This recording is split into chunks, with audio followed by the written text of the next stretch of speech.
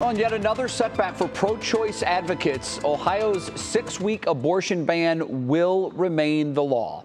Abortion providers were asking the court for a temporary stay in the law to continue to allow access to the procedures. This in the wake of the U.S. Supreme Court overturning Roe v. Wade earlier this week, returning the regulation of abortions back to the states. Since the law went into effect, abortion providers have had to turn women away who are more than six weeks pregnant, directing them instead to states that have less restrictive abortion laws.